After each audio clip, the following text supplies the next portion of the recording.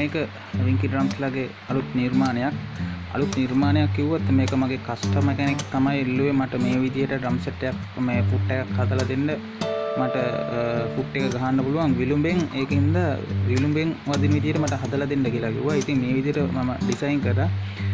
මේකේ ට්‍රිගර් එක තියෙන්නේ මෙතන. මේ මෙන්න මේ මෙතන මේ මෙතන තමයි ට්‍රිගර් එක තියෙන්නේ. ට්‍රිගර් එක මෙතන තියෙන්නේ. ඉතින් ජැක් හෝල් එක තියෙන්නේ මෙතන. හෝල් එක මෙතන තියෙන්නේ. ඒක හැම තියෙන්නේ. මේ විදියට. ඉතින් තමයි ජැක් එක හැම තියෙන්නේ.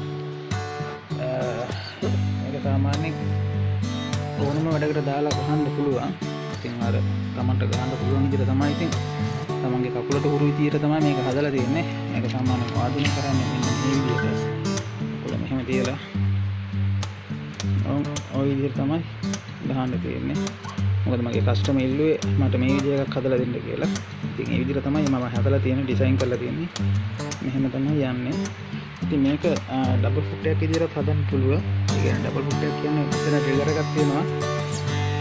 ඒ වගේම මෙතනට ට්‍රිගර් එකක් අපිට එකතු කරගන්න පුළුවන්. ඒක ඩබල් ඩබල් ට්‍රිගර් එකක් තියෙන්නේ. මෙතන ට්‍රිගර් එකයි මෙතන ට්‍රිගර් එකයි. ඒතර ටෝන් දෙකක් එකපාර දාන්න පුළුවන්. එතකොට මේක වැඩ කරන්නේ ඔන්න මේකට ඩබල් ෆුට් එකක් විදිහට වැඩ කරනවා නම් හදන්න පුළුවන් මේ මේ විදිහට මෙතන ට්‍රිගර් එක ෂොට් එක ගන්න මෙතන ට්‍රිගර් එක දෙවෙනි ෂොට් එක මෙතන ට්‍රිගර් එක. ඕනම හදන්න පුළුවන්. ඉතින් ඔයාලටත් ඔයාලගේ පොතේ ඩිසයින් එකක් තියෙනවා නම් මට මේ විදිහට හදලා දෙන්න කියලා කිව්වොත් මට හදලා දෙන්න පුළුවන්. ඒක කිනා වාදනය කරන විදිහට තමයි ඉතින් මම ඩිසයින් කරන්නේ. ඉතින් මේක තවත් එක ඩිසයින් එකක්. ඔයාලත් මොනවද ඩිසයින් එකක් තියෙනවා නම් කියන්න. මට මේ විදිහට කරලා දෙන්න පුළුවන්.